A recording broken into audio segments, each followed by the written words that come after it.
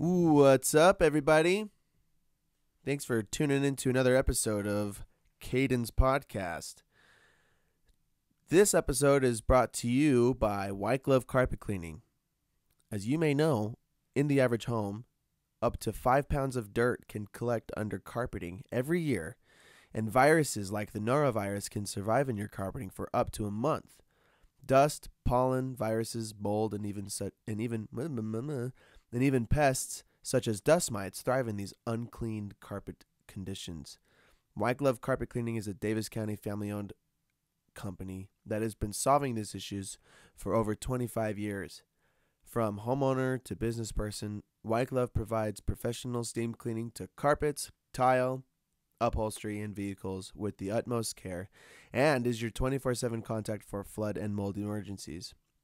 Right now, White Glove is offering an incredible deal which includes three bedrooms and a hallway for just $99. Text White Glove at 801 425 4618 to schedule an appointment and give your carpet the white glove. Whoa. Ugh. Text this number to give your carpets the white glove treatment it deserves. That number is 801 425 4618.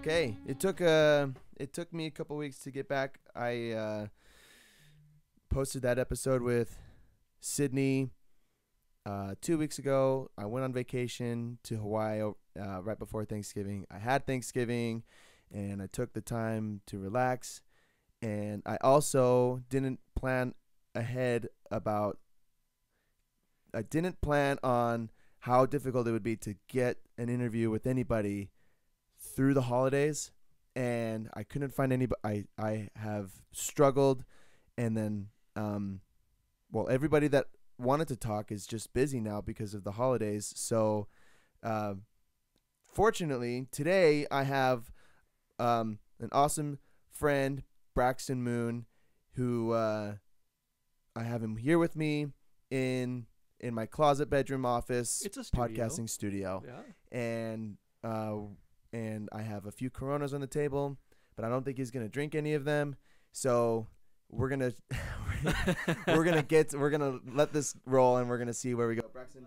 LGBTQ. Okay, yeah. So I was saying I I want I have all these people that want to be on here to share their stories that are that are related to conversations I've had in the past, but but you you you have come at me with a different approach, and I want to like I had Hudge on here at the first episode, and we it was all just a bullshit episode, and it was way fun, but it's it's like it's it's like not in the agenda, right? Mhm. Does that make sense? Yeah, no, it so it's sense. not personal. Yeah, no, It's I not- get it. it's just like now I I'm like the guy that has an agenda now. So, and I have to fucking keep an eye on this. So I don't want that to happen again. I don't know why that happened.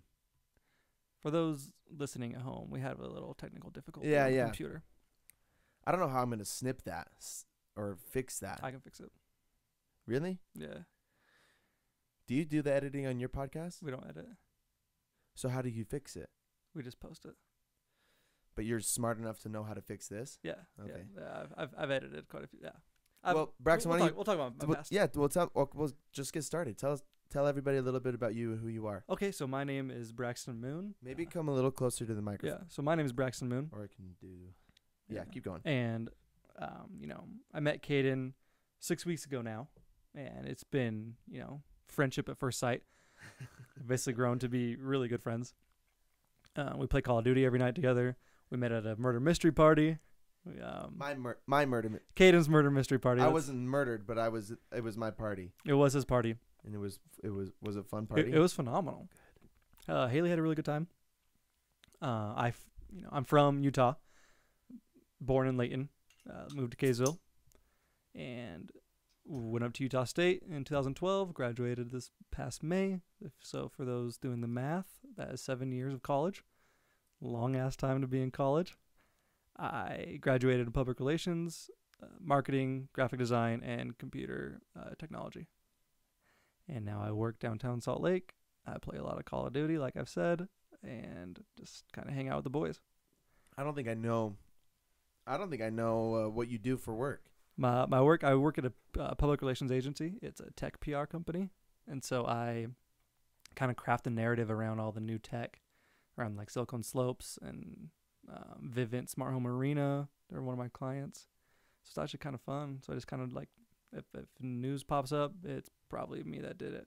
You make the news. I promote the news, and so I I craft the narrative around the news.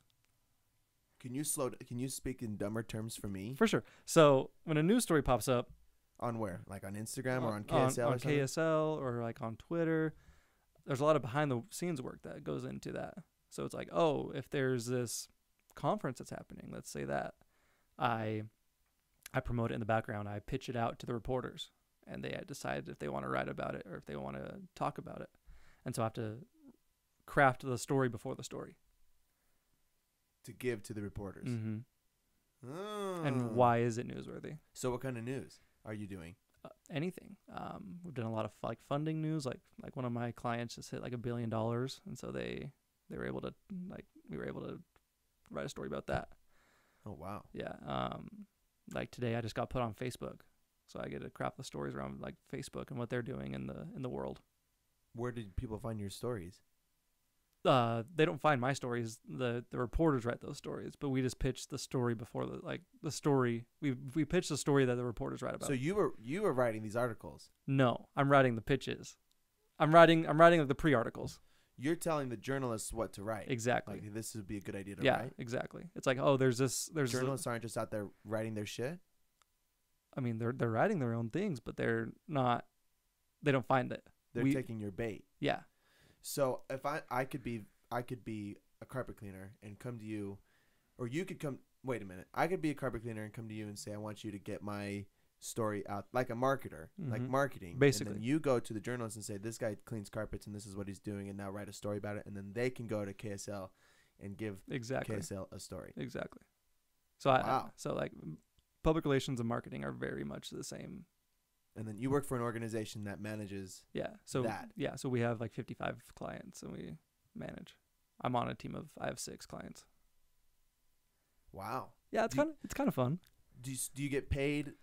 Uh, do you get paid on this amount of stories you you that people take from you? No, so just- I just I just I currently get paid hourly, but in two months they're switching me to salary. Uh, So I'll, have the so big. then you're not going to write any stories. No, I don't write. I know. I know.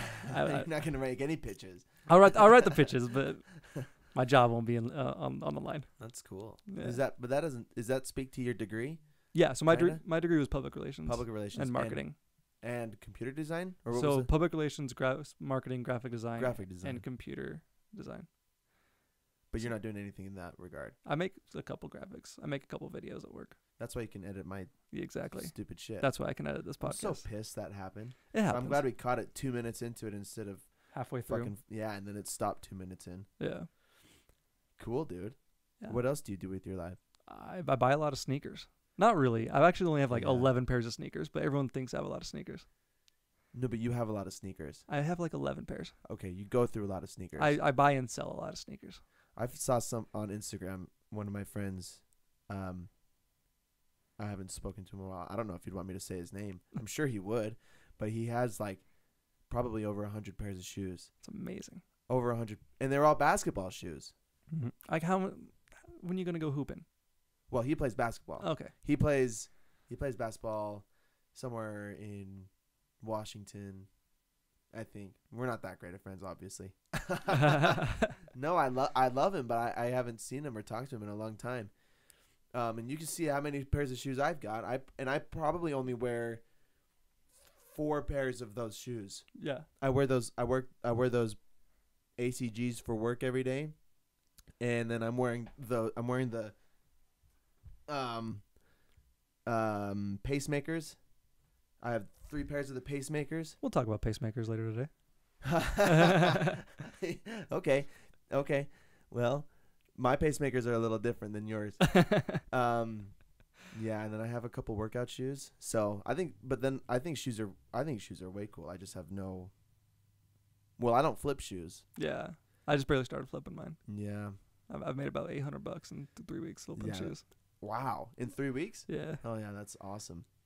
And Steez too, right? yeah. So Steez definitely flips. Like he he's the one that taught me how to do it. He got you into it. Yeah, not sneakers, just like flipping. Mm. But- he's and he flips everything. Like he flips. Oh yeah, Steez flips everything. He goes to He goes to thrift shops. and savers and gets yeah He'll he'll mark it up like forty bucks. People buy it.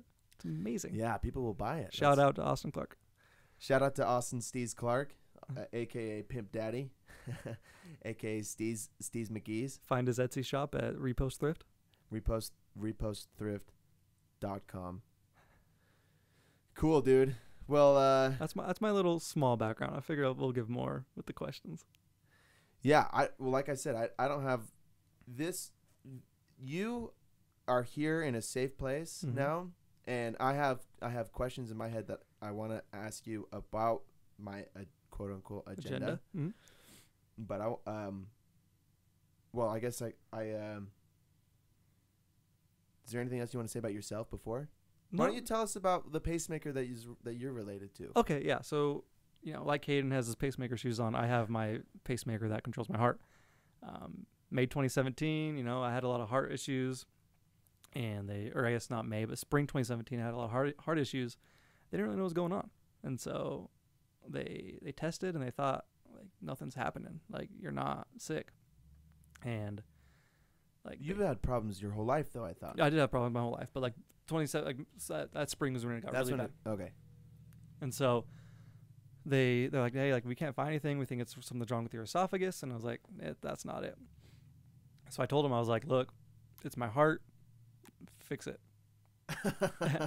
And so they put a heart monitor on me, a two day heart monitor, heart me on me, and they they call me back the next morning. They're like, hey, like two days, we got what we need. Your heart stopped six times last night.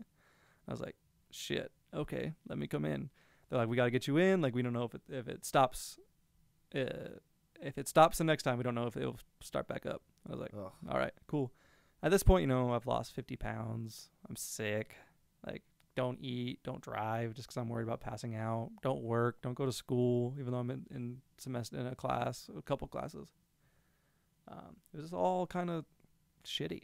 And then in the May, in May, I got a pacemaker. You know, a couple days after Mother's Day, my mom flew out. They lived in Germany at the time.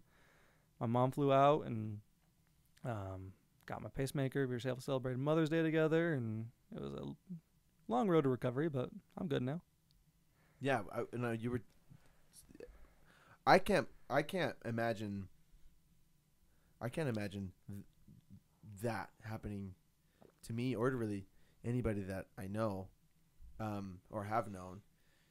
Because it was just, you were you had uh, like you were passing out, and you didn't think you know you knew why it was just happening. My my chest hurt. That's that's like what I knew. Like I was like I was like my chest hurts really bad when it happens. And it hap- you. s- I remember you saying it had happened as you were, like through high school, after high school. Yeah, so it happened it happened like in high school like a little bit. Not as not to the degree that was happening like before before I got it. It was like maybe once a month, maybe.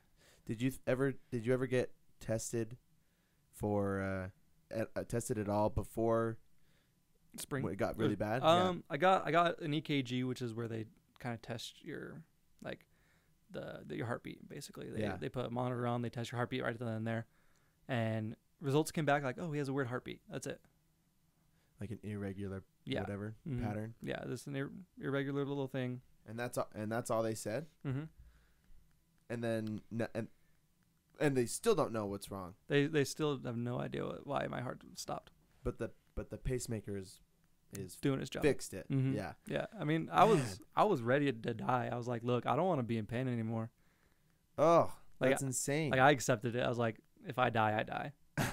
I, I think that that was the start of my journey or the, the midpoint of my journey to where I'm at right now.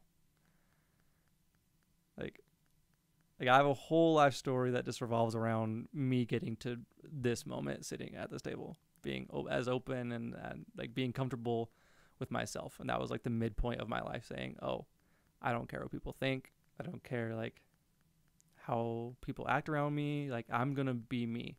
Yeah. Like Well, that's it's kind of it sucks to have to ex- to experience something like that to get there because that well because I think that's You're you a happier person now? yeah. Do you feel like you live a better life? mm-hmm. Um, you I remember you said that it hasn't affected the quality of your life negatively. No, no. I, I'm able to do so much more now. You still do like, and you can still do the things that you loved before. Exactly. Yeah, man, that's ins- that's ins- I my family has uh, my dad's side. I guess I just learned has a bad history for hearts. Mm-hmm. Um, my dad's dad, So your Had a- grandpa. my grand my grandpa had um, a heart attack at, in his forties and died and was resuscitated Mm-hmm. and is and then got a pacemaker and that like you are like that person now as a 26 year old 26, yeah. as a 26 year At old that time, I was 24.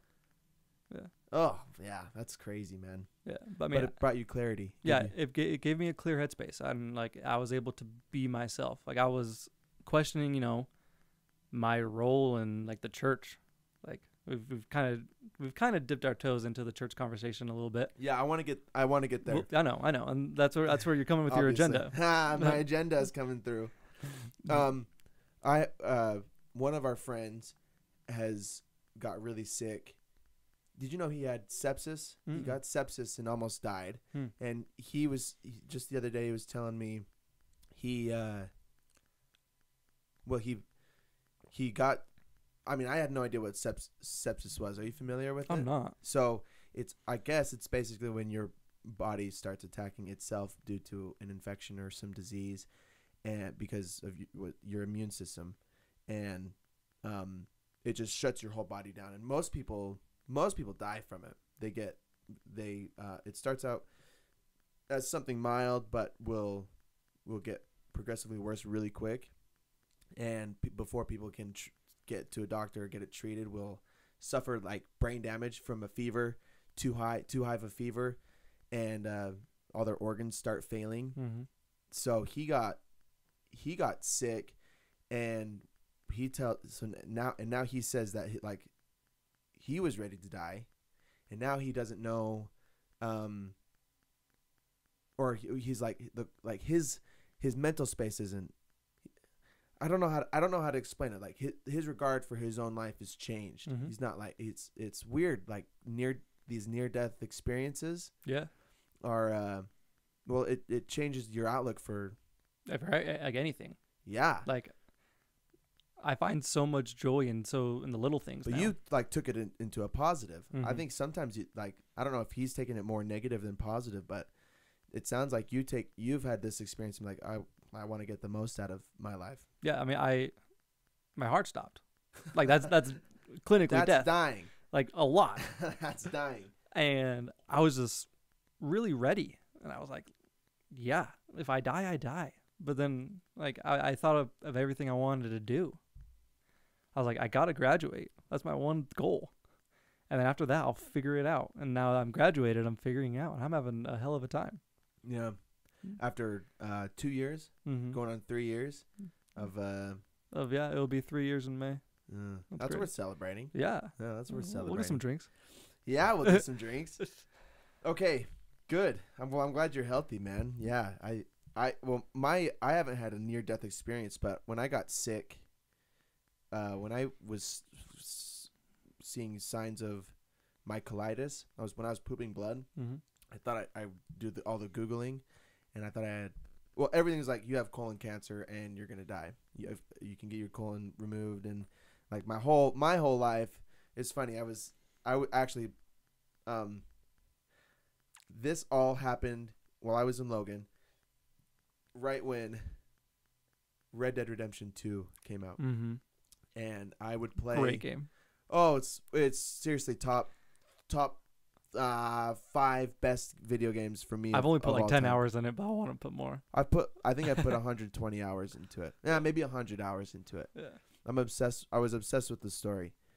Uh, I would sit down and play the game and think about like this is the last video game I'm gonna enjoy. So I'm gonna just fucking enjoy the shit out of this game, and I really did. I don't know if that had anything to do. I don't know if that had anything to do with uh, me almost well me feeling like I was dying, but feel I I wasn't I didn't have a near death experience. I guess I had like a I'm going to die experience. But then I was like, but then everybody dies, so what's so special about dying early if everybody dies anyway? And then I'm like, well, I, I guess I have I, whatever time left I have. I guess I can just live the best life I have now and make the most out of it. And then I'm gonna die anyway, so if I die tomorrow or if I die in uh, 80 years, you know, I, I want to be able to Say you're happy. do what I want and be happy. Exactly. So that was yeah that that whole thing. Even though it wasn't, I don't. I would say it wasn't as serious as you or maybe you know, being bedridden or hospital ridden. But um, yeah, that changed. That has changed my perspective too. I don't want to. I don't want to be stuck to um, anybody's regimen or or anybody's else's agenda. I want to do what I. I want to. I want to. You know, live Be your own person. yeah, I want to be my own fucking person and Yeah. be happy for myself, not for anybody else. Yeah. So it sucks that well, it sucks. It's too bad that I couldn't figure that out without getting colitis or that maybe you couldn't figure that out without your heart stopping. Yeah. But I think maybe some people I figure that some out. Some people probably figured that out, right? Yeah, or they or they fake it. Like you fake, fake it their till happiness. yeah, you fake it till you make it though. Yeah. Most people have not like growing up. You realize no one has their shit figured out. Nobody. No one knows Nobody has doing. their shit figured out. and like living, uh, I live with my parents right now, and I'm able to see like like growing up. You know, they moved out when I was 18. Well, I moved out when they when I was 18. They moved to Germany when I was 18. I should say they moved out of the country. And oh yeah, yeah, yeah. Forgot about that. Yeah, and so moving back in with them now, I, I realize I'm like, they're just like me, but they're just 20 years older. They don't know what they're doing. No one knows what we're doing. How doing. old are your parents? my can I mom? ask? Yeah, no, my my mom's 50, my stepdad's 56. Fifty six. Yeah, Yeah. Okay. And you're twenty. Yeah. So I guess. Do you have any? s- Do you have any older siblings? Uh, so I have an older sister. She's four years older. She's my half sister, and so, and then I have older step siblings. So you're the youngest I'm out of the, everybody. I'm the youngest out of the family I talk to. Oh, Yeah. deal. Good Yeah. deal. So I, I have a lot of dad issues that are associated with you know a lot of my issues, and so I don't really talk to my dad too much. Do you want to talk about that? Yeah, we can.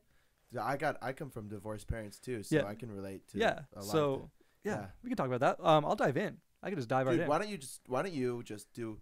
Why don't you just s- jump the fuck in right now? in the shallows. So my f- kind of first vivid memory was I was Really five. Fast. Yeah. Do you hear like a ticking? Yeah. What is that? I don't know.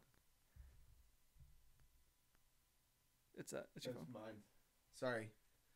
So, my first vivid memory growing up was I was five years old, and I come downstairs, and I remember I sit uh, adjacent from my mom, so she's across from me. My dad's to the left, my sister's to the right, sitting in a chair, and there's this real, like, kind of somber conversation going on. I was like, I don't know what's going on. I'm five years old, and remember my sister starts crying, and she's like, I don't want it- it to happen again. And you have to realize my sister and I have different dads. So my mom was married before to a guy named Tad. And I, you know, never really met the guy. But she's like, I don't want it to happen again. And that's my first like vivid memory. I have fuzzy memories of, you know, my first when I got my first stitches or when like I pulled my first tooth. But I I do have the fuzzy memories of like my parents fighting. I would sit at the top of the stairs and I have like glimpses. My first real vivid memory of my life is my parents getting a divorce. I remember like my dad kind of tearing up my mom, you know, she's a warrior, she's tough, she just kind of wasn't saying anything. She was just like this is what's going on. And then I walk up the stairs and my dad's packing up and he has, you know, four things in his hands. He has his wallet, his toothbrush, um, and like a couple changes of clothes. And I go, "Oh, dad, you coming back?" And he goes, "Probably not."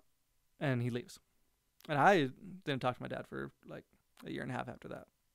And so like, that kind of ingrained in me like a lot of, you know, trust issues, abandonment issues, stuff like that. And so the divorce happens, like the settlement happens, and it's like, oh, you have to just go see your dad every other weekend. And so I, I did that, and that became the norm.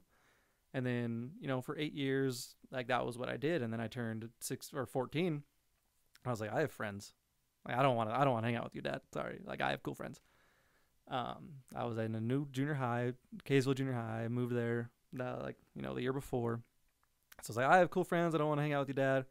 And he kind of resented that. He's like, all right, cool. Like, I'll hang out with my, you know, my children, uh, his stepchildren. Um, because he has he he married a, a new he married like this um my stepmom.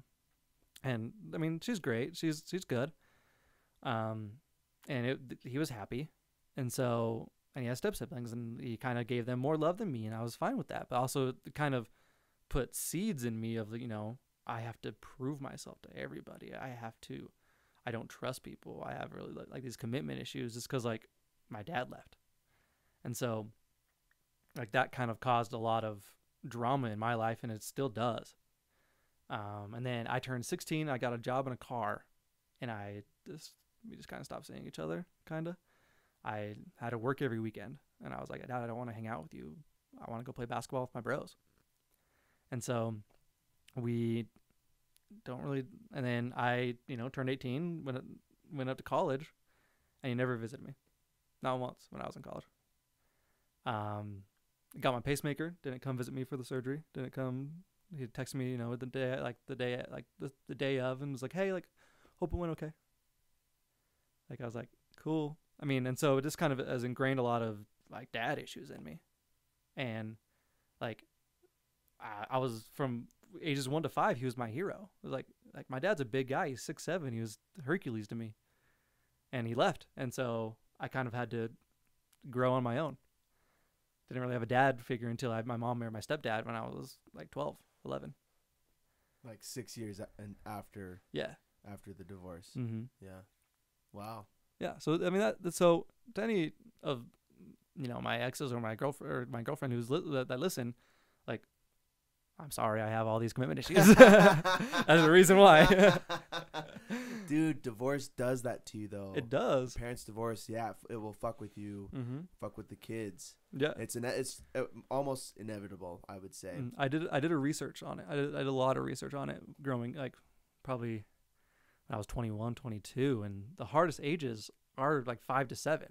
Just cuz that's that's the developmental years of, you know, this is a this is what a mom does, this is what a dad does. And this is like like teaches you these things. I've never gone fishing. I've never shot a gun. Just cuz I've never had that opportunity or a father figure really to do that with. So it's I mean it was it's been a somber. It's been like it's been a thing I've had to overcome. But like I know I'll be really good with my children, probably too good, and I'll spoil them. But that's my whole you know divorced parents side. okay, well, well, let- me ask a couple questions, and if I, I Oh. don't want to step, I don't want to step over any lines. You so won't. I mean can- this is this is an open podcast. It's an open podcast. We're open. We're an open book for sure. Um, but you know, out of respect for you and your parents, you, you whatever. If you, if you're uncomfortable talking about it, just let me know. Uh, about so so now you don't have. You don't really have a relationship with your dad. I haven't talked to my dad since. Besides, I haven't seen my dad since. Uh, probably March. Okay, so most most of this year, and that was seen him Yes. or talked to him or Uh. I haven't talked. Well, we. I texted him to come play basketball the other night, and he's like, "No, it's too late." And he is like, he's like, it was it was eight o'clock. How how old is your dad? He is fifty. Fifty. Yeah. Okay. Um, okay. Listening, listening to your story, it sounds it sounds similar to mine in some ways. Um, I I didn't care to put I didn't care to put an effort into a relationship with my dad through Mhm. high school. Uh, my parents, you if you you probably I think did you listen to the first episode Mhm. about so you probably you know the story. Uh, my parents were di- got their divorce when I was almost 15, but they had been s- separated several times before, and I, I yeah, I thought my dad was evil through high school, and I, I didn't want to do anything to you know work on our relationship, and then um. But I can say that through the years he was making an effort for me, and which which makes me sad because I was I shut him down. I know that hurt him a lot. Do you feel like your dad ever? It sounds like your dad didn't really make an effort for you Once once he stopped paying child support is when he kind of stopped making an effort. 18. Yeah. Yeah. I mean, because I was in college, you know, and like he's my only parent in the state. Like, I, I your sp- parents are in Germany. Your mom's in Germany. Yeah. At this point. mm, and like I spent a Christmas with him, and it was just kind of weird, and um, you know, and he, like I don't want to judge things on material things, but he bought more presents for the step siblings, and he did more things for the step siblings, and I was like, that's fine, like, this like tell me, you know, and this last Christmas, I went down there, and all these people were all all all the you know his his other children opening presents, all these things, and I didn't get anything. And I was like, all right, cool. Like, I don't want to base it on material things, but that kind of hurt. And Yeah, so, it sucks. and he's never like he like he made a lot of effort growing up, and this when I turned 18, it just kind of dropped. So, Wow. Um. and so now I can't watch movies or anything with like dads and like dad issues in. My eyes ball. yeah, I was just gonna. I was gonna say like you. You. I mean, you were joking about daddy issues, but Oh no, they're no joke. But I mean, I like to joke about them. yeah, but Yeah. it's okay. Yeah. Wow. So what do you do? I mean, so now you have. So your mom got remarried when you were. Did you say ten? About 10 or 12? 11, yeah. Uh, what's your stepdad's role in your life? So he, I mean, he stepped in. He, he's been a great father figure. I mean, like, he's been really good. He's he's been hard on me, but like good. Um, comes from Texas, so he's kind of you know old school, traditional. You know, men do this, women do this. But I mean, he's very. He's a good dad, but I mean, he's not my dad, Yeah. and it, Yeah. and it's hard. But I mean, he is sure. he is my dad, but he's not my father. Oh yeah, I get that. Yeah. Yeah, my mom's been remarried, um, and I love I love the man that she married, Mm-hmm. but it was yeah, it was not it's not even close to the same. Yeah, like I, I love Darren, and I, I think of him as a dad. Right. but he's just there's just too much seeds of you know leaving and abandonment in me to Right. really A get lot over. of empty que- or questions unanswered. yeah, Uh, yeah, yeah, I get that. I I get that. Well, I, I think I get that to Yeah. an extent. no, I mean you, you do. I mean it's not it's not hard, super hard to like understand, but it's also Yeah. like a hard topic to talk about. Yeah, man. Whoa, it just got so heavy. Fuck. you sure you don't want one of these? Yeah, I'm good. Okay. I'm not a Corona guy. You're not a Corona guy. You're not a beer guy though. I hate beer. Do you want a mangarita? I'm good, thank you. Okay. I, I gotta drive after this. so do I. True. No, I don't. I'm going to bed. You're going to Dollaritas. oh yeah.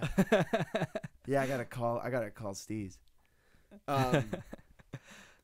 uh. Okay. I've I've always been curious. It's, you kind of already mentioned it, but for me, one of the biggest difficulties from my divorce, from my parents' divorce, was is how I handle relationships with girls. hmm I I not like uh well have you had any have you had any you say commitment issues but what does that entail So I have really bad like separation anxiety. And it's like I have to be like I don't trust a lot of people and it's just hard. Cuz like and I like I I tell them I'm look I have I have these like these issues and like I'm trying to work through them but it's really hard and like be just be patient. And so I really value, you know, communication and relationships and like like being able to trust a partner and cuz like I've been cheated on quite a few times.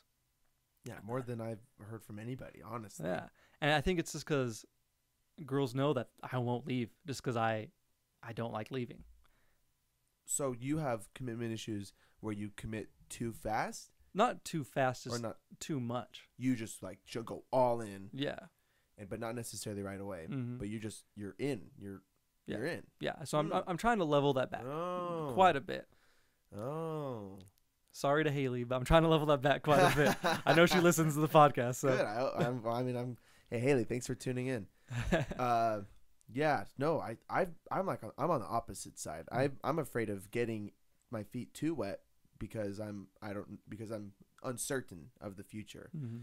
and i i psych myself out and i i don't i'm more mature now. I don't panic like i used to in previous relationships but i i uh with it's like with even with friends if there were any if there was contention or uh dissonance between me and anybody i would just withdraw completely. I'm a lot better now at not withdrawing entirely but i still feel like like the way i handled my parents divorce as it was happening was completely withdraw and turn inside, shut down, don't talk, don't look, all to myself. Mhm. That's how I coped. Yeah. It was. The- I mean, the the way I handled it was, you have to fix this, mm, and so I have to. I feel like I have to fix everything. mm. I feel like everything's on my shoulders and everything's my fault with your parents, with everything. you take responsibility for it, uh, or you did. Uh, I don't not not my parents, not like that relationship, but like all my other relationships. I've definitely been like I can fix this. Like I can like we don't have to yell, we don't have to fight. Like I mean, it's all it's all my fault. Like you cheated on me, that's my fault. Like yeah. Wow. like- wow. and I, I've I've had a girl say that like like she said, yeah, I cheated on you, but you didn't break up with me. That's your fault. And I was like, Mm. no, that's not how it works. like, bitch, you fucking cheated. Oh yeah. Wow. Yeah, it's it's. I guess it's interesting. I wasn't. I've never heard of that. I've never heard of an effect going that way yeah, so I from a divorce. it's really weird just because like my mind is so wired to be like I have to take all the responsibility. Mm. That's how it is at work. That's how it is like in my social life. That's how it is in my relationships. It's like I, if if something's wrong, it's my fault. So what do you do now to to check that? I have to talk myself and psych myself and be like, look, that wasn't your fault. Like what happened in the past wasn't y- you. Like, that's not on you. You're just a byproduct of that. Mm. And so, like my dad not wanting to, you know, hang out with me, that's not my fault. That's his. And so I have to like realize that, be like, look, that relationship you had was fun. It didn't work out. That's not your fault. You did everything you could. Think- And even though you were a punk in high school and like, eh, like you can't.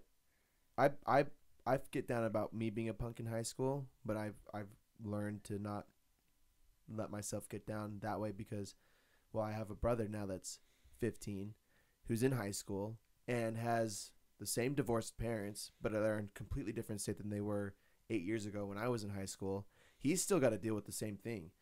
It's uh, it's picking friends over family most of the time. That's exactly what it was for me. It was way easier just to go hang out with friends or to have friends over for dinner than to sit at the table with just mom or with just dad and talk about what was going on. Exactly. Way easier. Yeah.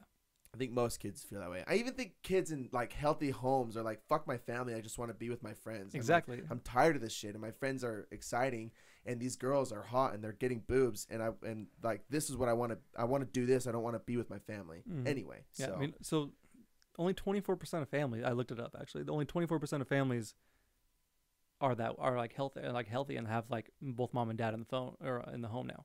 24%. Wow. Like there's a lot of divorces. There's a lot of like like parents leaving and then or coming back or like like like, like your situation where they split up but they didn't really get a divorce. Yeah. Like it's not the norm to have a mom and a dad in the home at all the time. Yeah. Really. Yeah. I did actually. I did see something.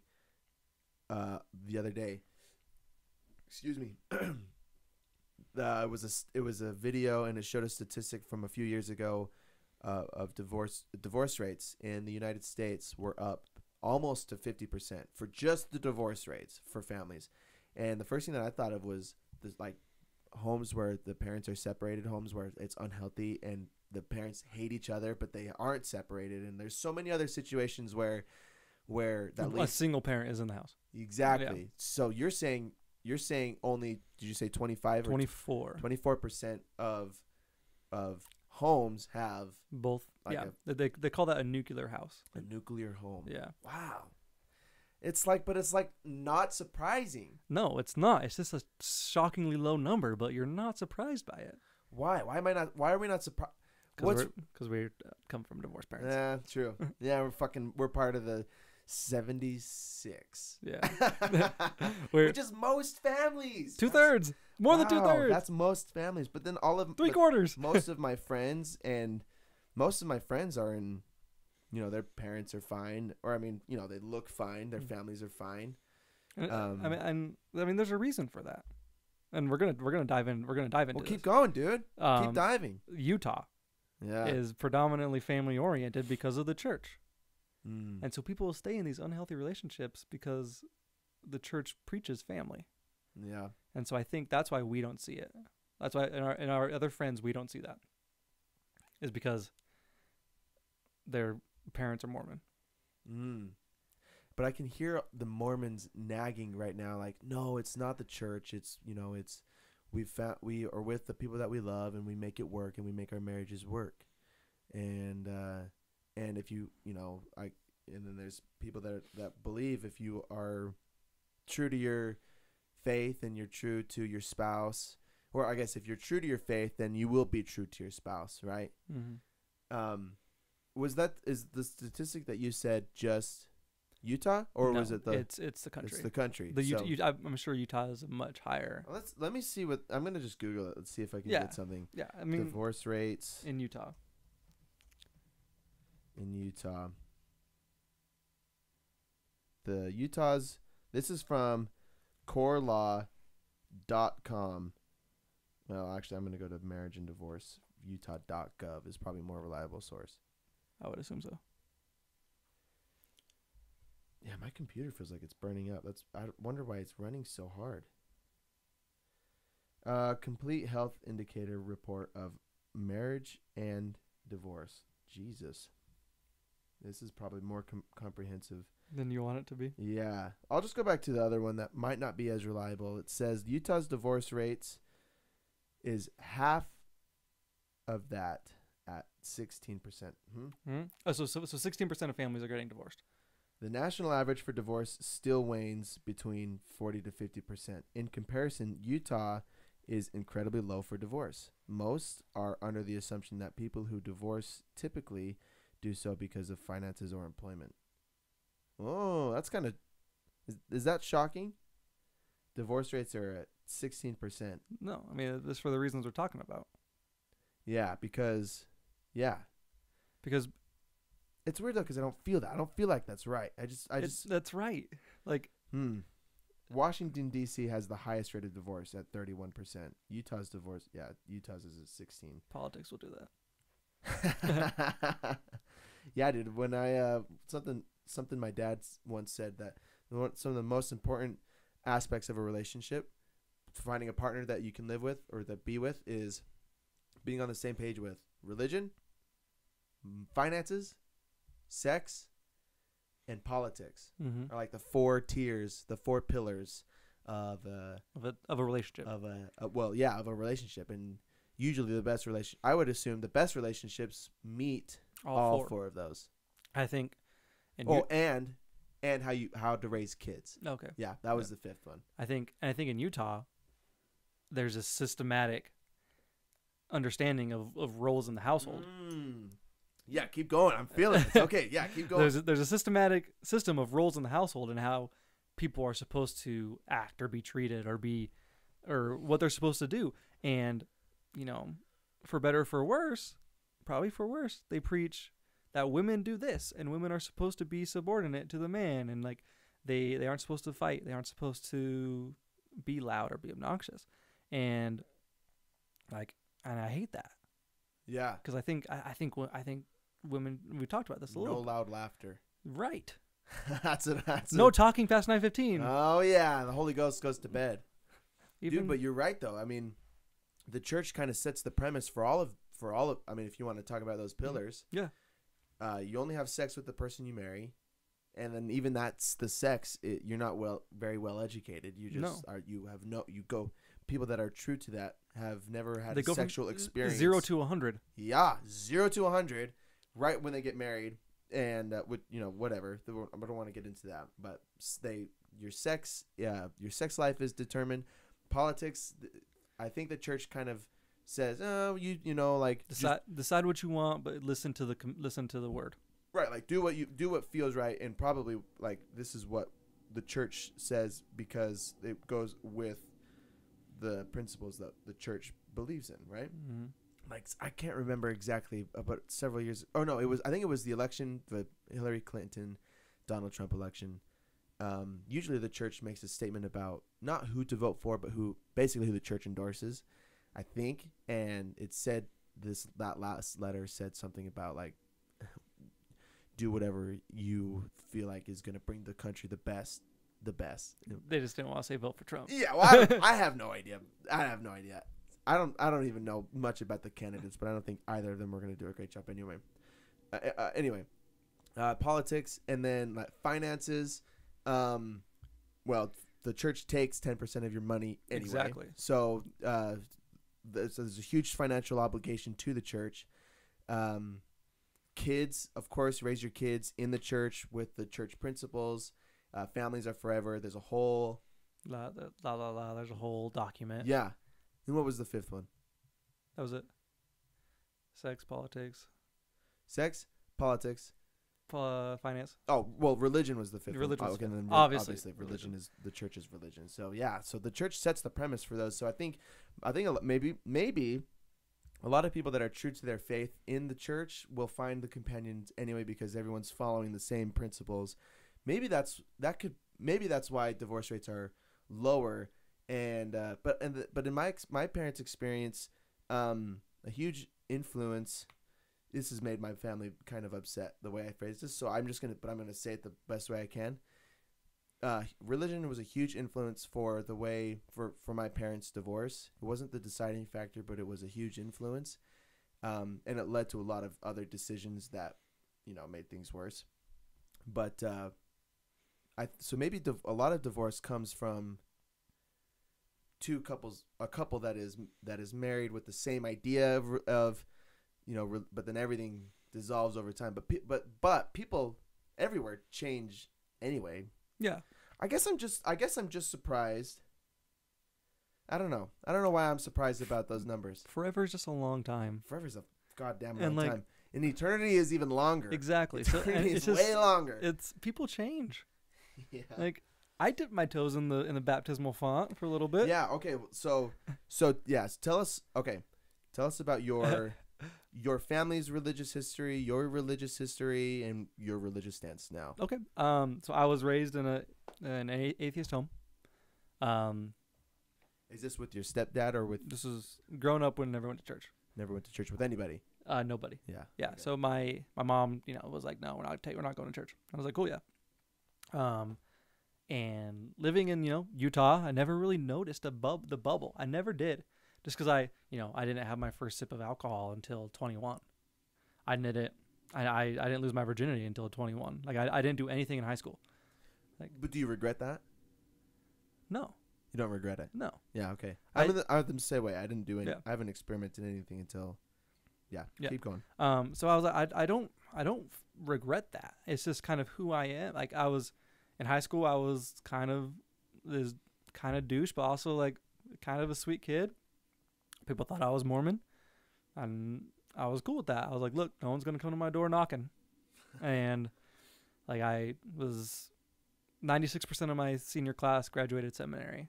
You know, Davis High is massively like uh, from a, an LDS culture, and I was all my friends growing up were Mormon, and so I never really noticed like a super weird thing until I came until I went to college.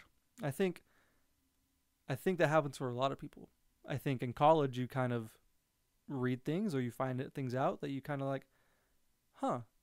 Well, I, I don't want to really do that, or I don't want to, or I don't want to like, I, I want to delve into that further. College is a time to kind of discover yourself and what you want to do in your early 20s. And so um, I was it was 2013. I met a girl. Her name was Sophie. Met her at a at a surprise birthday party in the basement of my fraternity house. Mm. Yeah, and you know Sophie and I hit it off, and she was like, "Oh, I'm going on a mission," and I was like, "Okay, well that's not gonna happen. Nothing's gonna happen there." And with, with her. Yeah. Yeah. and then I was like, "Oh, well maybe," and then uh, we just talked every like she left in March, and so we talked all the time, and I wrote her every week on her mission, and she like sent me the Book of Mormon for Christmas, and she's like, "I just really want you to read this," and I was like, I was like, "Damn, I'm so in love! Like, I I guess I'm gonna do this," and so I read it. How old are you at this time? Tw- I was 21. 21 in college. Yeah. Met this girl on yeah. a mission. Oh, I, so I was I was 20 when I met her. 21 you met her. 21 when this is When, happening. when this whole next the next year thing and happened. you have no religious history at all. Yeah, Never read the Bible. Mm-mm. Never said a prayer. Never. Never like tried to talk to God Never. or like learn about God? never I. I was never really interested 'Kay. And so i had kind of like this weird coincidental event that happened and like i was alone one christmas and i was like because my you know my family being gone i was like i'm alone got nothing to do. And then like my I Sophie's Book of Mormon that she gave me was in the back, and I was like, fine, I'll open it up, and it was like coincidental that I flipped to a page, and I was like, well, fuck, I guess that kind of sounds nice, and so, and like I, I was like, you know, I'll I'll, I'll take a, like a couple missionary lessons, see what I what I feel like, and once I said, oh yeah, my family's gone, they harped on that. They're like, oh yeah, well families can be forever. Did you know that? I was like, well, my parents are divorced. They're like, well, that's fine. Families can be forever. You can start your own. And I'm writing Sophie at the time, and I'm like, I was like, I want to marry Sophie. Like, I barely, you know, I kind of know her. It'd be kind of nice to marry her. And uh, I got baptized May 2nd, like 2015, I think, around that time. I remember the date was May 2nd. I think the year was 2015. So, you know, two years before my pacemaker. What what was like? So is, was it the family that aspect that was like the deciding factor yeah, for you? I think so. I think growing up in a dis like disjointed, broken home, I didn't want that for my kids. Yeah. And so This looked like stability for you. yeah, so I was like, I was like, damn, I want, I want, a, I want my family to be forever. Like, like if if if, and I I I never truly bought into everything else, but I was like, you know, I can make it work. I'm fine. And so, uh, Sophie comes back from her mish. We Yeah. Okay. I'll No, let, go- I'll go ahead. No, Well, I was gonna say interesting. So you you you never you, I you said you never read the Book of Mormon. no, Did you ever like learn about Joseph Smith? Did you ever look into? I I I, Him knew, as a I knew the name, and like I never I never looked into like his background or like what he did. Right. But you so you had heard about him like through the missionary discussions hmm and his role. Yeah, I mean, but honestly, the missionary discussions were us just like talking about this bullshit and like shooting the breeze. Well, okay, uh, and okay, I gotta, I gotta, I gotta, I gotta, you know, whip those missionaries a little bit because as a former missionary, I know, ex- I know exactly what it takes to get somebody to be ready to be baptized. You have, uh, right now, there's a set of five lessons that every future convert needs to go through and understand wholeheartedly and believe before they're prepared to be baptized, and they need to attend church several times and participate in things like this. You have to understand. Oh, wow! Now we're really going to test my missionary knowledge. I may have forgot everything completely. Um, the restoration of the gospel, right? That uh, tell me. If, I mean, tell me if you even remember any of this. That Mm, Continue, just spit them out. Joseph Smith saw God and Mhm. was instructed The about two, the two vid- the visions. yeah, yeah, yeah. Yeah. So he had visions. He had visions with God. He had visions with other angels. I was instructed to translate the Book of Mormon, right, and bring the restored gospel back to the earth. And then that's the first, the whole first lesson, plan of salvation, which Mhm. is probably what you love the most about Mhm. how families can be forever, and um, how there's, you know, there's a reason why we're here Yeah. on earth. Do you uh, believe there's a reason why we're here on earth today? No, You believe in purpose or destiny or Uh, anything like that? not really. I I think people kind of just do what they want. Like like we we evolved and we grew and we you know ended up the way we are.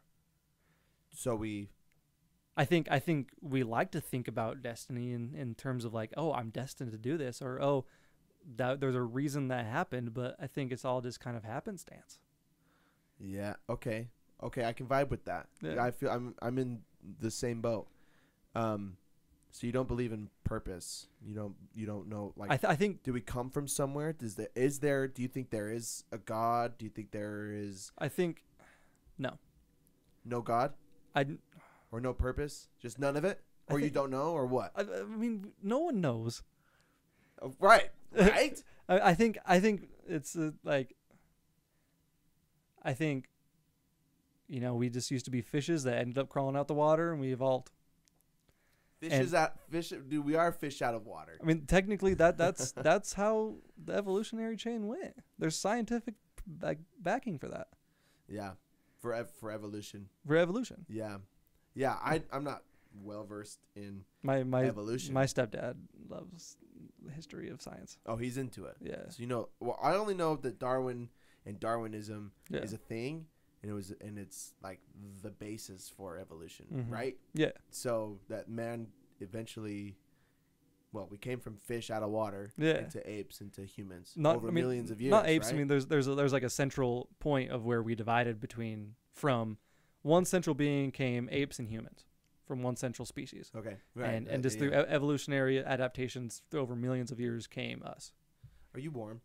Yeah. Do you want me to crack the window? No, it's fine. Because I can't get circulation here without the air blowing on the microphone. Do Do you want to? Do, Well, I, do only- I look warm? no, no, no. Uh, I'm warm, but if, oh, if I'm fine. I'm okay, fine. Okay. Keep going. So, I think I think evolution. I I just I don't like my last religious religion episode. I just don't know. I don't. I don't. I'm not a historian. I'm Mhm. not a scientist.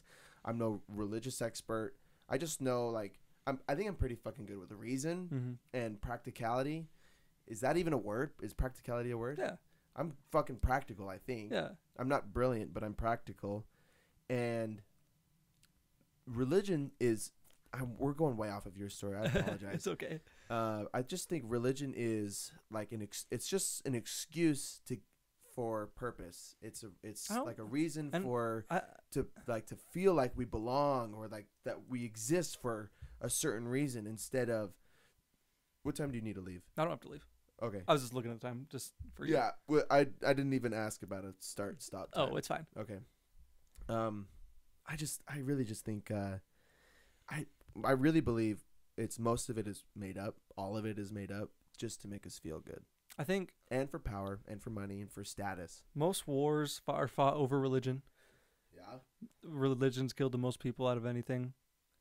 I think people want it to be true. They want that story of, yeah, I. Right, because it feels good. It feels good. It feels and good to think that my, I can raise a wholesome family and we can live together forever. Yeah, that that- feels so good. Let's circle it back to the to the uh, five points. Yeah. Yeah, Yeah. right. Exactly. All right, now now continue with your with the other one. Was point three Oh, yeah. of the missionary discussion. Okay, yeah. So there's the living living forever because it feels fucking good to live with a good family forever. Um, then there's the gospel of Jesus Christ, um, about what was it's basically the New Testament, why Jesus was here, what he did, and what he taught while he was here. Um, and then the fourth one is the commandments. Well, okay, this is where I'm a little hazy. There's the commandments, and then there's like laws and ordinances, Mhm. which are just like the tagalongs for the church and the all of the principles, like Yeah. like tithing, like baptism, uh, like like temple work, Strength of the youth, or yeah, yeah, like Yeah. things you do with the young men, the young women. Um, yeah, I think that's so. You're so you're supposed to be taught all of those things. yeah. We're now okay. Now we're getting back into your story. Exactly. Sorry for the tangent. Sorry for the for the viewers at home. Sorry. okay, but now we're back on track. Um, you didn't even buy into it. No. So why did you do it? Just because of the one aspect of maybe my family could be I could have a- Sophie. and Sophie. for the one reason of I, I want to be good for Sophie, and Did- did did it did it was it hard was it hard for you to like okay okay. So i'm sorry it's just to understand you and your story. Um was it you did it for sophie. You didn't really believe the rest of it what it, okay, so i guess just fucking keep going on your story Okay. Yeah. So I did it for Soph, and you know I got baptized, and I was like, okay, yeah, I guess we'll be happy. We'll be happy together. If as long as we're together, I can make it work. you thought if you got baptized and you were a mormon you could be with Yeah. sophie Yeah. because of like this commitment thing that you were explaining earlier about your parents Exactly. I, divorce. I dive all in. So it, Cool. it, there's a, there's a timeline of like my whole life. Okay. And so I kind of go above and beyond, and I got baptized, and I was like, I can make this work. I'm happy. Like we're happy together, and um, it worked. I mean, we she came up to school after a mission, and we you know ended up dating. We dated for a long time, and she would spend the night, and we would just kind of you know shoot the breeze. and, Like nothing ever happened. Um, post mission yeah. after she's home Yeah. Um, nothing ever, ever really happened. Like we didn't do anything wrong. We didn't break, you know, the commandments or anything. Um, and like uh, it's coming up on that summer after that school year. Um, and I proposed to her. Have I told you? Yeah. I, I, I ended up proposing to her, and she looks at me. and She goes, "In a perfect world, I'd say yes." Yeah, you said that. I, I wanted to fucking drive to her house and slap her for saying that. Yeah, and and we, but the thing is, like in uh, like March of that year, we went ring shopping, and we were like discussing it. We we knew what we want to name our kids and what temple we get married Jesus in. Jesus Christ. And she goes, "In a perfect world, I'd say yes." What does that mean to you now? That means no. Y- Well, Oh. fucking yeah, duh. But like, in a perfect world, like to me, it's if someone was- if I propose to someone like in a perfect world, I would say yes. Is like, well, like what is it like? Ah, fuck. Okay, it just it gets me heated, and I'm Mhm. sorry. I want you to keep going. So I think, I, well, I sat there and I was like, but didn't I make this whole like world perfect for you? Like I've done everything I need to do, and we ended up, you know, breaking up. Well, I mean, kind of. She like, we we broke up. I don't know. It's it's a whole long story of there's another dude involved. Um, Oh shit! Did she see the? Did she know the proposal was coming? I mean, you were going Um, ring shopping. yeah, we, I mean, she she had to know. I mean, like we, like we we were kind of we weren't really fighting, but we just weren't like hundred percent okay at that point. afterwards. No, no, when I proposed. Oh yeah, yeah. yeah, Oh yeah. because yeah. like, because we we weren't fighting, but we were just like, you know, let's just like, because she moved back to Colorado. She's like, let's just like figure it out from here. And I was like, fuck that. I want you. You want me. Like we went ring shopping. I have a ring. Like I gotta just do this. And she goes, in a perfect world, I'd say yes. And then we just stopped like talking after that. Um, Um, yeah. kind of. There was a whole long story, and I, like this is kind of like after this is when my heart really started to kick into up gear of you know, wow, you suck. Like uh, she literally broke my heart, and like, um, and then I that's when I that's when I kind of was like, I'm not I like the church is not for me. Like I still care about all my friends who do care about it, but I I just never really believed it in the first place.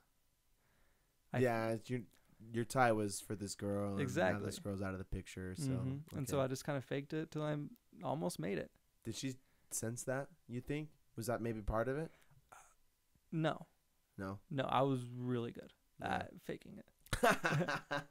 that never would have worked though if she had said yes. And I mean, Yeah, I mean, she's once you get di- you're diving into it and you're in a marriage and you fucking don't believe. I don't have all those pillars And that we talked about previously. Yeah, yeah. And not to say you couldn't have made it work or that you know you you wouldn't have been able to compromise or sacrifice, but um, man, the, I, I just like from my experience, man, the whole religion thing is a, is a really big. It's a big Indicator. fucking pillar It on is. that building. It is. It's probably Yeah. the the second biggest one. Yeah, very well might be. What's the first one? Probably finance. Yeah, If people want to be happy, and you know, that's a best way to be comfortable. Is they're all pretty fucking equal though. yeah. But religion is a religion. It really is a big deal. Mm. religion tell well certain religions like mormonism tells you about all of the other ones but there are religions that don't Mm-hmm. there's some that will just let you express your spirituality and uh, they don't interfere with your family life or your finances or your or your political stances Yeah. Uh, there's a lot of religions that do that but mormonism has their fingers in all of them Yeah. is that, But- is that what people say they have their fingers in, in Yeah. things like yeah. Their eggs. all- Their, their eggs in all the baskets. Eggs in the baskets is better. I'm thinking of like fingers and salsa, like they're fucking mixing their hands in salsa or something. That's what I. Yeah, I don't like that. That's what I saw when I said that, and I don't like that. I like eggs in the baskets better. Yeah, man. What did your family think when uh, about you getting baptized? My mom said, and I remember this to this day. She said, "Oh, that won't last." She knew. When you told her, Yeah. She's Oh. like, she's like, eh, it's not real. It won't last. she said whatever. She said, it, she said, it won't last. And I was like, all right, bet. And then she was right. She's always right. What about? Did it affect your relationships with your fri your fa- family or your friends? Mm-mm. No, I Everything mean, was fine. eh, they were all Mormon. Well, and you weren't really partying anyway at No, this time. no. Yeah, And you were like, getting baptized. yeah. And so my roommate at the time, you know, baptized me, and that was it. You still talk to this roommate. a little bit, yeah, Cool. yeah. I mean, I mean, they, I think they all secretly they all knew. Everyone knew. That it wasn't really gonna work. I mean, but that's the thing is that they just they look at you, they look at you and you're like, oh, new toy, and then they kind of just like toss it aside. Yeah. And so I'm still friends with everybody. Like everyone, I think everyone knew. Everyone's like, okay, like Braxton's still Braxton, Yeah. with or without this. yeah. It doesn't change who I am as a person because I was already that way before. Well, yeah. It should. It shouldn't. Yeah. It changes a lot. I think it can change a lot of people. mm-hmm. Well, a lot of, a lot of people that I met on my mission, even that I baptized, were people that were in places that they didn't want to be, and we would meet them at you know just the perfect time, and they were willing to make changes in their lives that were more, more sober lives, Mm-hmm. and we would help them do that. We would help them meet their goals, Yeah. and our goal was to get them converted to the church, and they they just you know they worked they worked really well together. So, but I think the best, even the best religious people, are ones that want to do it for their own reasons, right? Not Mhm. for they don't have to change their person to be religious, Yeah. right? Mhm. Yeah. Yes, but uh but like I've yeah, I got I got personally I got to a point where I was I wasn't comfortable with the things I had to do to be a Mormon Mhm. and then it kind of helped it was like the road out of the church. Yeah. I mean, after like that, when Sophie said in a perfect world, I'd say yes. It kind of opened my little nugget of rediscovering who I was. It's like it was like I wasn't the that person. I wasn't like I was, but I wasn't. Like I I wasn't happy with this facade of you know being a Mormon that's not Mormon. Yeah. Because like everyone, everyone always joked, be like, "Oh, Braxton's a Mormon," but he doesn't want to admit it. Like in high school too, they're like, "Oh, you're basically Mormon." And Yeah. so now I'm like, I'm not like pushing toward that but- or pushing super far against that because I still think I'm a great guy, but like it's just like I want to, you know, go out. I want to have fun. I want to, you know, go to the bars. I want to go, you know, do all those things, and it's fine. Like it, that's normal life. for most people. It's not a lot very it's not very normal here Yeah, for our, the Utah culture, but it's normal everywhere else. most yeah, most people want to fucking just fuck. Yeah. they want to they want to experiment with everything and um i wonder i guess i wonder what would it what it would be like out to grow up outside of utah now um knowing what i know about what it was like here i have i have family that live outside of utah but they grew up in mormon homes so it was you know they basically had the same lives as most most of the same lives but Utah Mormons and Mormons outside of Utah are completely different, though. yeah Like, but they're also they're more okay. Well, I mean, I I mostly know California Mormons. Mhm. I know uh I know pretty well. I'm in pretty good. St- shit, what am I trying to say? I know. Uh, I'm struggling to find the words. um, yes, I agree. How about that? okay. Yes, I agree. Yeah, I mean, yeah. Fuck. Yeah, I think uh more California Mormons are actually almost more intense hmm but more understanding. yeah. Utah Mormons aren't very understanding. They're Well, more judgmental, even though they're Coming from high school, they were doing the exact same things I was like I that I do now, but they still would go to church on Sunday and take the sacrament. yeah, fake it. Yeah, I mean, fake it. everyone did in high school. yeah. Uh, you probably had friends that did. Oh yeah, I have friends that do it now. You go to Layton High.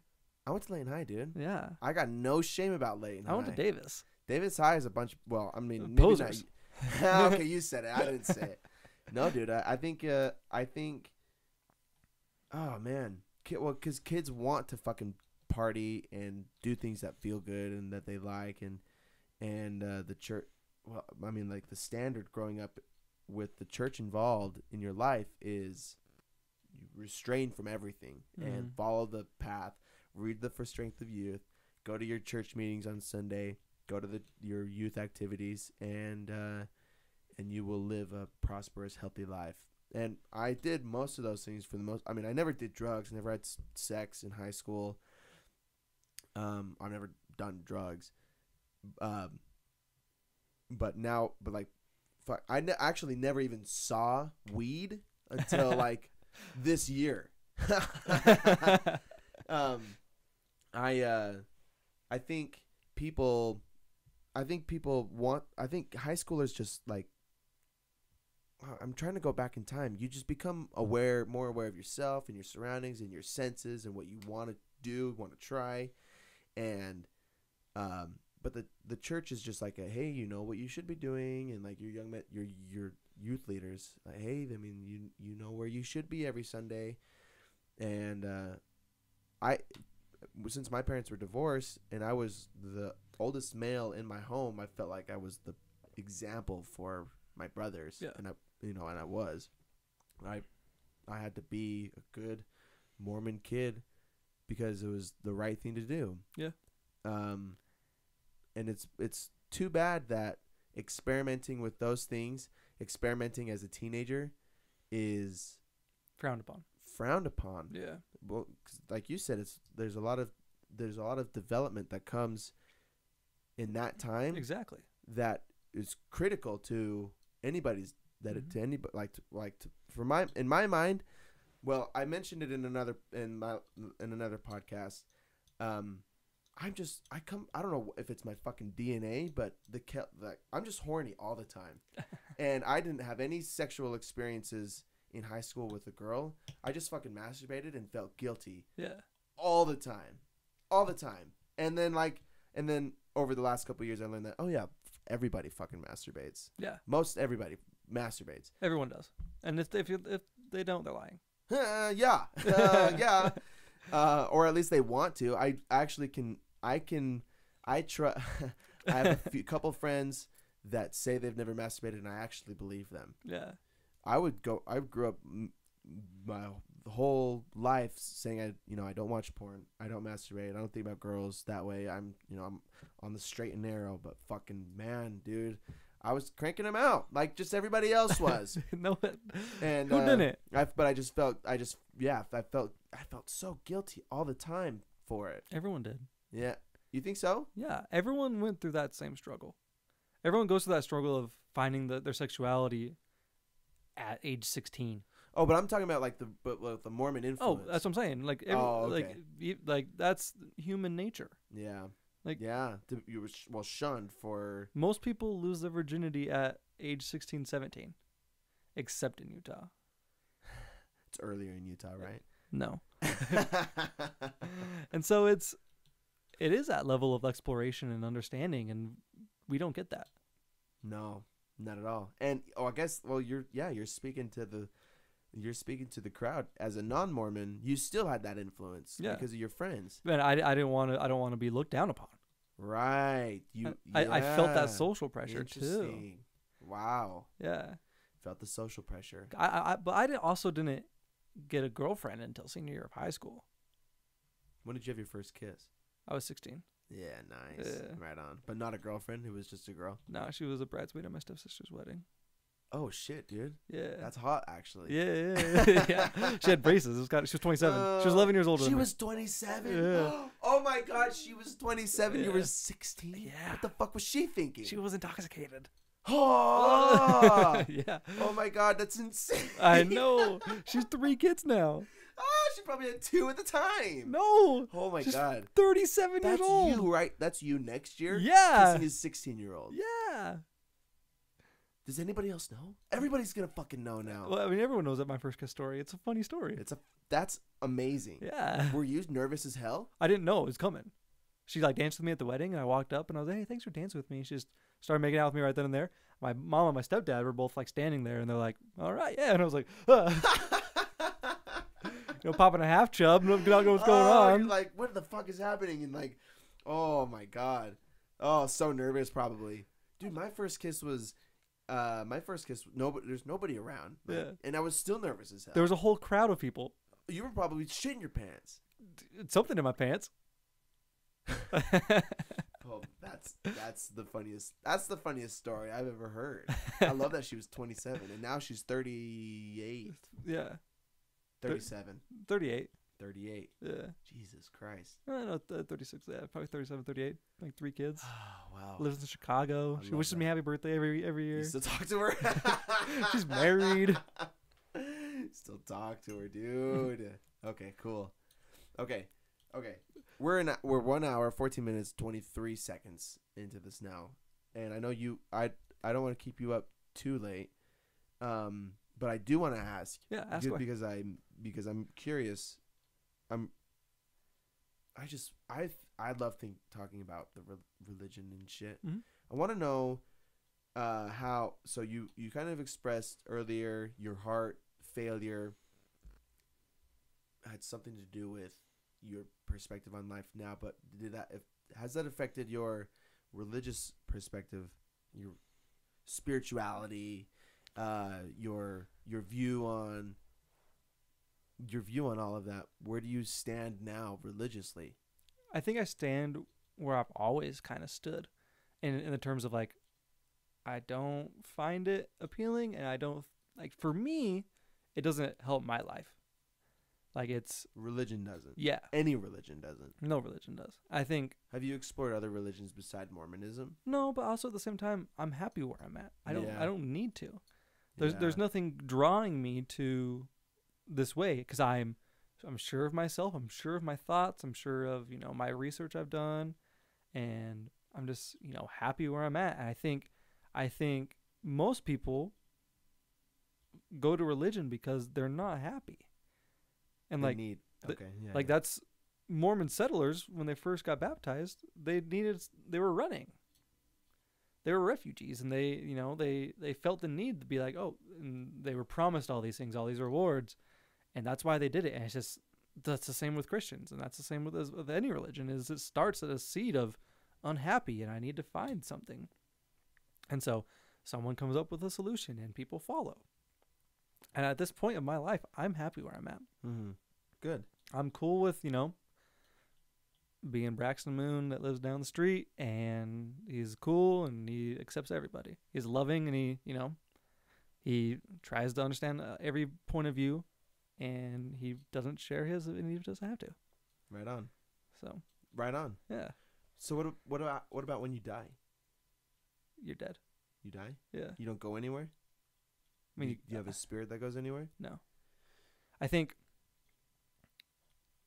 energy okay, so matter can't be replaced. Or matter doesn't go away, is what I'm saying.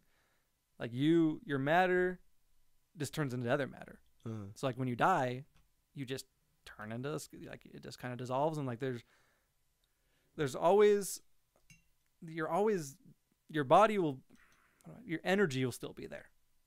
Does that make sense? No. well, yeah. Yeah. s- So, so, like yeah, your I mean, ener- your energy will be there in terms of like you'll you'll die, you'll be buried in the ground, you'll be cremated, and or you could turn into a they could turn you into a tree now. It's fucking crazy. Like you, mhm. That's like- how I want to go. yeah, Actually, for uh, real. I, for real, I want to be a coral reef. My mom wants to do it too. oh wow, coral reef is way cool. Yeah, so they they can manufacture your bones and do all these things and turn you into a fucking reef. That's way cooler than just a tree. And so maybe maybe you die and you become you you come back, you know, when your bones are settled and you're a fucking reef. And you got fish floating around. That's way cool. Yeah, or, or you turn into a tree. But you don't think you have like a spirit or No. or like an energy that is I, that is unique to a Braxton identity. I think I think I have I have my energy that I put out in the world. I think I have my or my aura, my personality that I put out in the world, and that won't die. The who who like I, your influence. my influence won't die, but I will, and I'm cool with that because I've I've done it. I've I've died and there's nothing on the other side. wow, that's profound. Yeah, like I've I've I've seen it. Like my heart stopped and I. No one came to visit me at the pearly gates because there were none. or maybe God was like, God was just teasing you. It God's like, "Hey, fucking tease, dude. Nope. Yeah. And and if and if there is, I I'm wrong, and I'm okay with that. I I I'm cool if I go to heaven. I mean, it'd be cool to party in hell with my friends. I'm cool to go to heaven. For whatever that's worth. Yeah. I mean, like, if I'm wrong, then I'm wrong, and there's a heaven, and I apologize, and I say, all right, cool. Yeah, that's I felt that. I feel that too. Like I don't fucking know, and I'm not gonna deny it if I know. How can I deny it if I know? I just don't know now. Yeah. I mean, like, nobody knows. But people say they know. People are like, dude, I fucking felt that. I think, I felt the. I felt this presence. I felt this this energy. and like, there's there's definitely, and I I'm a firm believer in you know ghosts, which is wild because I shouldn't be, but I love ghosts. paranormal. Yeah, I watch a lot of Ghost Adventures, and Okay. I, I've I've been to you know, and like, like the the the energy is the more thing that's like, that's there, and like just like, there's something there, but I don't know what it is. I don't. I'm not gonna claim that, that it is. I hope when I die, I can haunt somebody. But like also at the same time, if I die and it's black, then I don't know. No, you just disappear. Yeah, Yeah, you just stop. you just stop, cease. and that's That's scary to most people. I don't know if that's scary or comforting Mm. because like you stop, and you don't know. No, you don't know. Yeah, Yeah. you just stop. Yeah. You just disappear. Like those beers just disappeared. Like they don't know. They just fucking it's gone now. they were here and now they're i mean look now they're in your now they're in the heaven that's your tummy Yeah, it's not a heaven. so I mean, it's just like you don't know, and I think that's okay.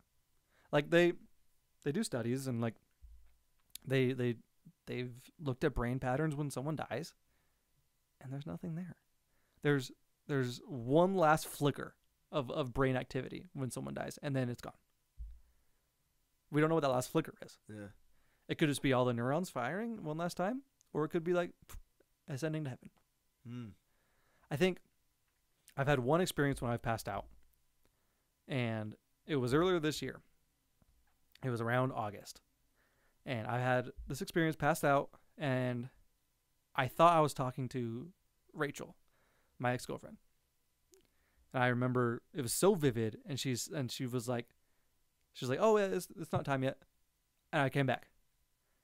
But I think that was just my mind going this like sicko mode and this imagining. Was she an ex at the time Yeah, when it happened? yeah. And she's like, "Oh yeah, it's not time yet." It's not time. And I think I think my mind was just like, "Oh yeah, like that's that's that's a dream." Because I mean, that's what like dreams are vivid like that. Yeah. Yeah. And so like but it's also vague. Like it could mean a lot of like oh, Ex- it's not exactly. time to put enchiladas in the oven yeah, or it could be like, "It's not it's not your time to die."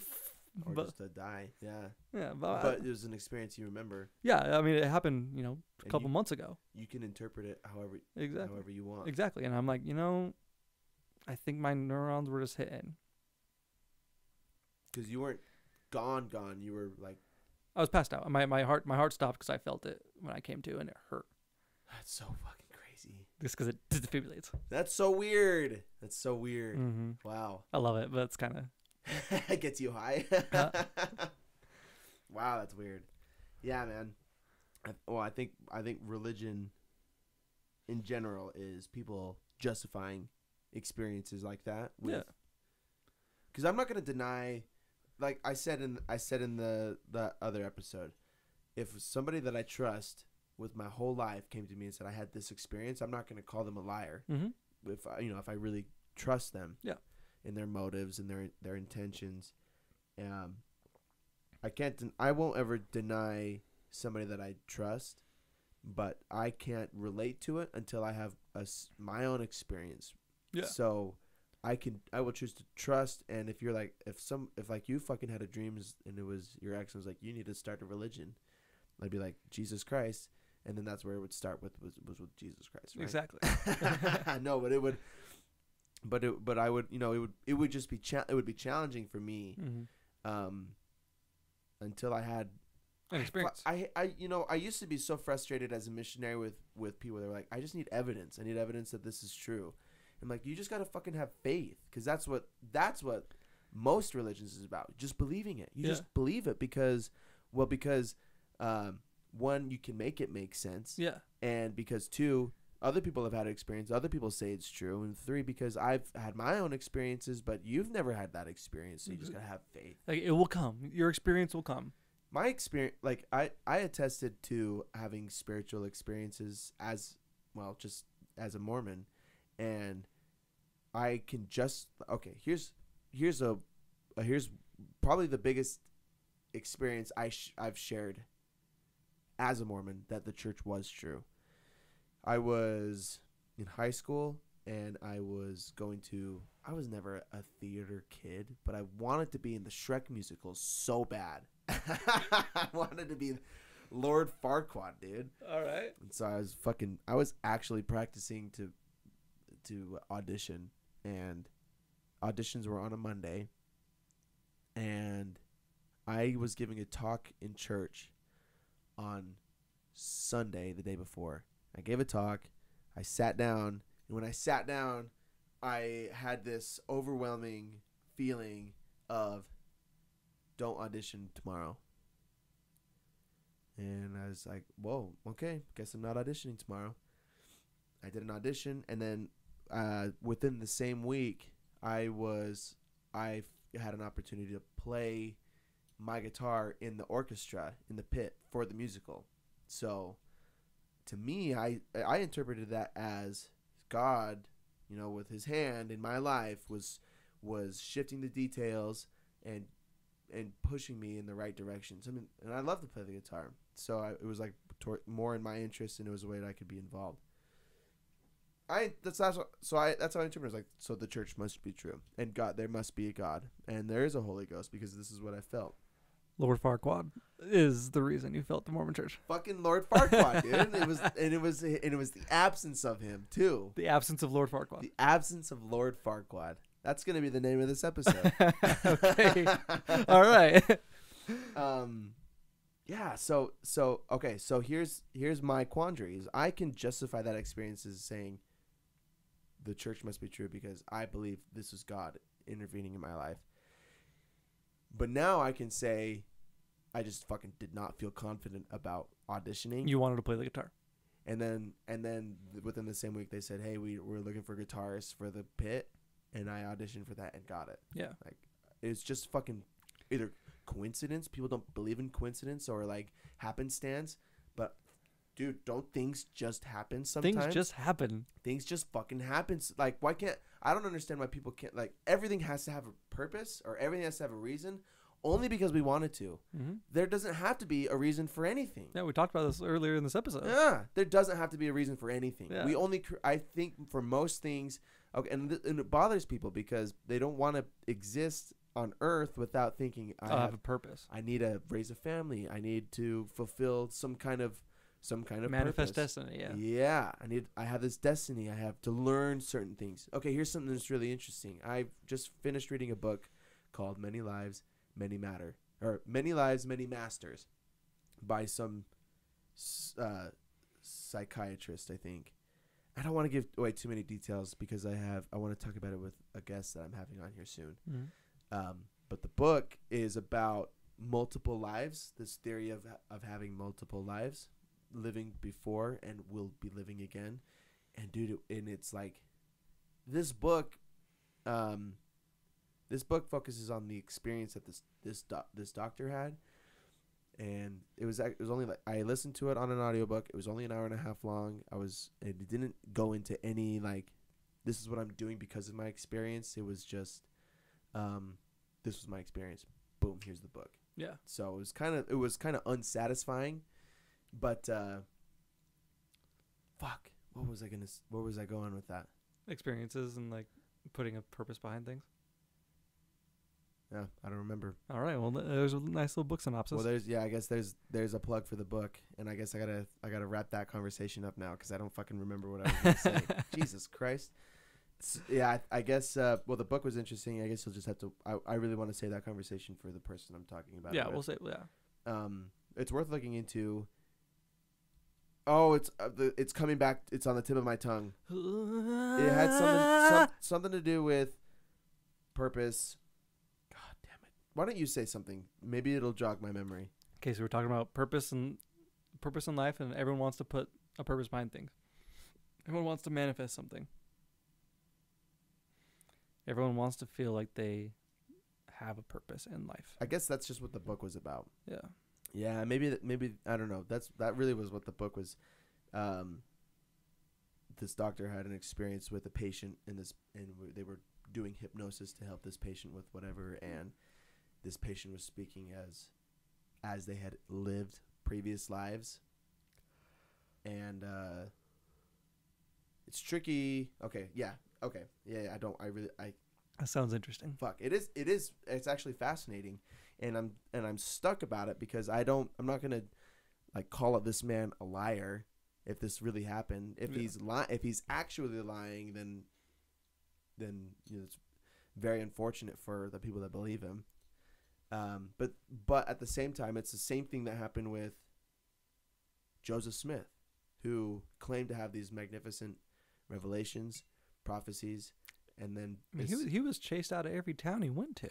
and you as a mormon you believe it's because he's doing the right thing and he's being persecuted by evil people Yeah. but you're never told about the evil things that he was doing while he was in those towns Mhm. and the people are like you're you're fucking destroying our peaceful community we need you to leave yeah. and the and the fraud and the theft and and the adultery and the awful things that he was doing right It's- Yeah. it's um yeah so it's it's uh re- the establishment of religion is tricky It is. it's well just fucking people are tricky Mm-hmm. That's why I guess maybe I have trust issues in that regard too. I don't want to be involved in a religion, an organization that tells me how or what I should believe because I'm the dictator of that. Yeah, you control your path, And so do you. and so does everyone listening. And so does everybody listening. What a wholesome message. What a wholesome message. This is what we're sending you into with Christmas. Do you think Jesus Christ was a real person? Yeah. Did you think did he I think he was brown, not white. Yeah. Okay. I mean, I mean, I think there there is like actual evidence of like there being a Jesus in terms of like a person who claimed that.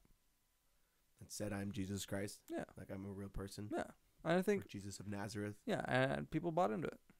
Do you think he did those miracles?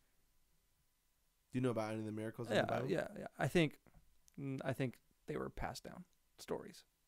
Hmm. I think the Bible is not.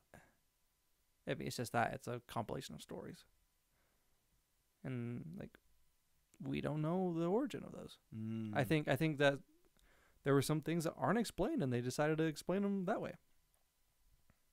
I think, yeah, I agree. I think, well, I, I don't think the Bible is really credible Mm-hmm. at all.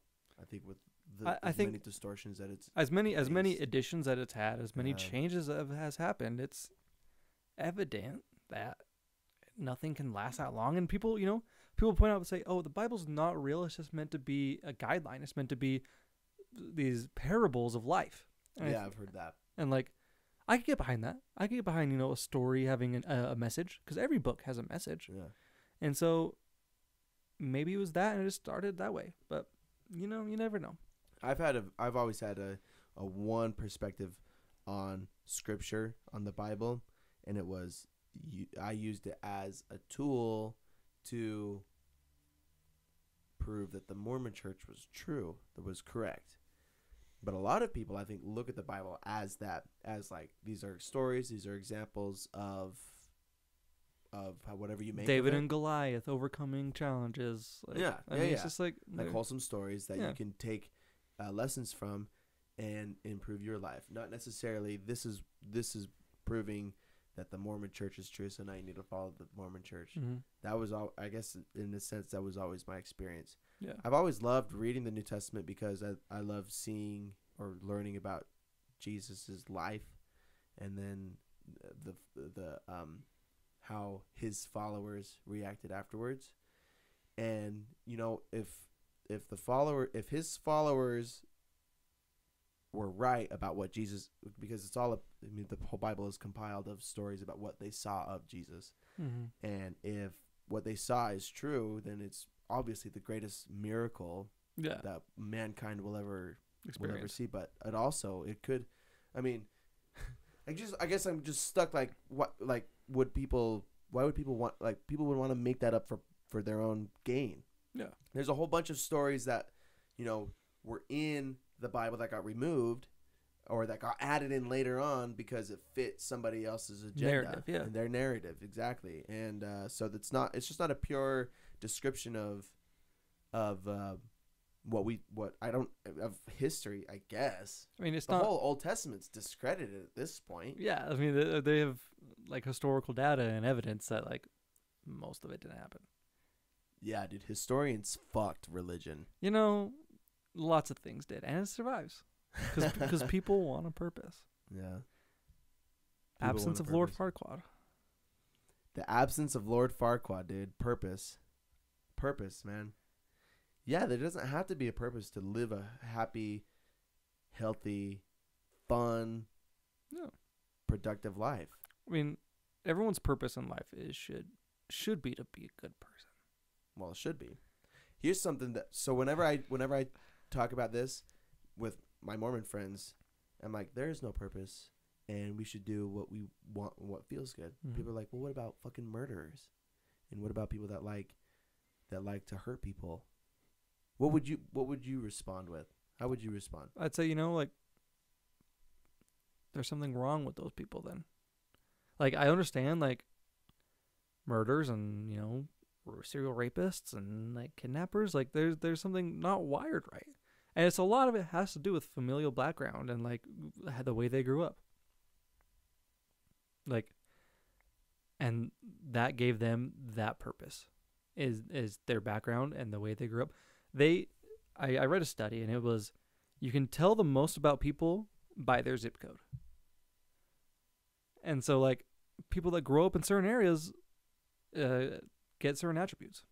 People that grow up in certain households get certain attributes and so like That's like a nature versus nurture it i mean it is it is i mean like conversation. like you can't explain why someone murdered somebody you can't you shouldn't have to even try No, yeah, exactly.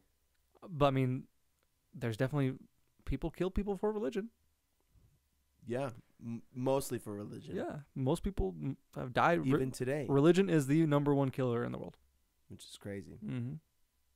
I always, I always think that uh, when people ask me that, I think, um, yeah, obviously, like if somebody killed somebody that I know or love, I'd be upset, and I wouldn't justify that happening, and people wouldn't justify me killing anybody else, or hurting or harming somebody else. So I think, I think, um, I think the really the bottom line is we should do what we want and what feels good and within society standards that aren't set by something else. You know does that make sense? Like within the government and the laws and the regulations that we as people collectively decide that aren't backed by religious findings or you know religious thoughts we have a system of laws and governments that people should follow. And if you follow those you'll tend to be happy Well, what if I like to deal drugs? you don't. I'm not harming nobody. Okay, it's true. I don't. i mean like i mean that happens yeah, don't get caught I like to do cocaine. Fucking heroin feels good. then you have to live with those actions Yeah. Yeah, I think at some point, at one point too, there were people that you know where there were no laws, there was no government, there was nothing to dictate what we wanted. We just did what we want. Um, I, I, it's I, I'm actually I'm actually kind of, I'm I'm I don't have my thoughts totally gathered on it. I so I think my best response is do what we want as long as we're not harming others. yeah We're not putting other people in misery. in misery. I think I think We don't want to following put people down. following the golden rule of you know do unto yourself as you want others to do to you. Yeah. I think- yeah. I think if we lived in a perfect world, then people could do heroin and cocaine as long as they did it responsibly. Yeah. people fucking drink alcohol and and do it responsibly, and then a lot of people do it irresponsibly and hurt other people, and then Yeah. it becomes a problem. mm-hmm. But people can drink alcohol and not harm other people, and it's not a problem. Mhm. Same with smoking weed. Same with smoking cigarettes. You know, even though it might not be good for your own health, who I guess really who the fuck is gonna tell you how to live? Your life. Yeah, I guess you should be informed on the consequences of your decisions, Mm-hmm. And there should be and yeah, and people if you're hurting other people, then it's gonna cause problems in your culture and in your society. But I don't want to be fuck. I don't want to be told what to do. I guess I just want to know what my actions are doing to other people. I guess that's that's actually a pretty good rule of thumb. Yeah. If I can if I can live the best life I can without harming other people. In fact, if I can live the best life that I want and at the same time helping other people, I'm living a pretty damn good life. Yeah, I agree. Yeah. I, I think we all want to, not all of us, but we want to help people. For the majority of us, want to help. I actually love making people feel good. Yeah, most people do. Yeah, I Yeah. think yeah, it's true. I think I love like that's I part of my personality. I love to. One of the reasons I love to party is because I love to inter- I love to mingle with- Entertain. and entertain Yeah. and and see and feel that people are having fun and they're Mhm. comfortable and and they're in a safe place. They're in a good environment. Yeah. I love. I I find deep personal satisfaction in that. Mhm. I think it's very rewarding. Same. Yeah, I I love it. I think it's well, and I I think most people have that to some extent. I don't. I guess not everybody does. I guess some people don't fucking care about other people, or other people's feelings. But, um, yeah, that that's a huge, huge, huge, uh, indicator or not indicator, but a huge piece of my happiness. Is that the people's? I love my friends. Yeah. I love my family. I love the close relationships I have, and I love that feeling people that other people are happy and comfortable in the same in the same relationship. We've talked about a lot of things today. Yeah, dude, in one hour and 40 minutes and 18 seconds. I think we've covered a pretty good amount of material. I think so too. Do you have anything else you want to say? Any other any comments you want to add? No, not really. I think you got to get to you know Dollaritas. Shit. It's eight thirty. I think we're doing another night. I'll have to call him. I'll call him right now. Yeah. I've got time though. Um, why don't you tell us a little bit about your podcast? Okay, my podcast. You can listen to my podcast, um, the Sagebrush Show and Aggie podcast on any, um, you know, of your music listening devices. Uh, it's just we talk about you know Utah State and Aggie football and our experiences up there, and our predictions were mostly wrong, but it's fun. It's just me and it's actually fun to hear, like your predictions, and then Uh, hear the next week. Hear like, fuck, we actually had no idea what we were. we talking were, fucking wrong almost We all the just- time. it's really funny. and we we know it. We just have fun. But I mean, it's just two, me and two other buddies, and we just have fun. So that's our podcast, Tell us what's the name of it again? the Sagebrush Show and Aggie podcast. Sta Sagebrush Show on Aggie Podcast. No, the Sagebrush Show, uh, colon colon, and Aggie podcast. and Aggie. Okay, cool, cool. Anything else you want to plug? Not really. I want to I want to plug the boys. I love I love me some Call of Duty time with the boys. Love our Modern Warfare fam, dude. We have a great group chat. Um, I'm sure you we can't share most of what's what's said in it, but it's fun. No, no, we'll keep the content private. Yep, The boys are the boys, you know. Boys are hey, boys will be boys. No. okay, man. Well, uh, Braxton, I, I I'm glad that you came by, and hey, if I could do this every single time, I would do this every single time. But uh, you know, there's a, a lot of people. A lot of people have to meet my agenda, I know. and uh, yeah, but I, I really appreciate your input. Um, and since we only met six weeks ago, Yeah. seven weeks ago, we still have a lot to learn about each other. But we connect on a lot more planes than we I think we thought. know. Yeah. this was awesome. This was cool. Uh, thanks. If you stuck with us for this one hour, 42 minutes, and 28 seconds, then uh, you know how grateful I am. For you, I, I, I want to make content that you enjoy, and I want to put it out there, and I want you to share it with your friends and your family and people you think will enjoy it. Um, I like to know that I'm doing something that is beneficial to somebody. Uh, I don't. I I am also doing this for myself, but mostly I want to I want to make something, I want to produce something that will positively influence the people that listen to it and as many people that you can reach. So it will be a, it would be a huge favor to me if you shared this, if you reviewed this on the Apple Podcast or Spotify or on my Facebook page, if you shared it with your friends and family and uh, whatever you, whatever you feel like you were doing to contribute and support me, I appreciate it. Even if it's just a fucking message about, hey, I love the podcast. Um, it goes a long way. I really do appreciate. I really appreciate the people that have stuck with me for the last six or seven episodes. Uh, they're long. Hey, and I hear you. I hear everybody talking about how long the episodes are. I get it, but this is how it's gonna be. You can't get this kind of quality conversation in just 30 minutes or 45 minutes. We were fucking we're tr- three times that length right now and we wouldn't have I don't think we would have near the quality. Oh, for sure. I mean, it would be cl- I mean, it would just be a different format. This is I love this format. I love this. We'd have no restrictions. We have no rules. We get to do and talk about whatever we want. Um, if you don't like it, then you don't have to listen. I'm not going to force you to listen. But uh, I you take it uh, take it like 30 minutes at a time. Hey, that's a great idea. Kaiden, I want you to do a 30 minute episode. Fucking listen to each episode 30 minutes at a time then, bitch. That's an easy answer. Uh, you'll get like you'll get like 3 good days out of this episode. Um if you have any comments, questions, concerns about what I'm saying or uh, if you want to if you want to be on the podcast, I really don't have any restrictions for who I'm having on here. I, I had a great time with Braxton.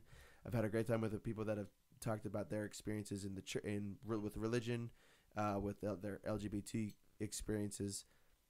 Find me on Instagram, Facebook, whatever. Send me a message, text me, call me. Uh, I'd love to get in touch with you. Anyways, one hour, 44 minutes, 58 seconds uh, is going to end this episode. Thanks so much for listening.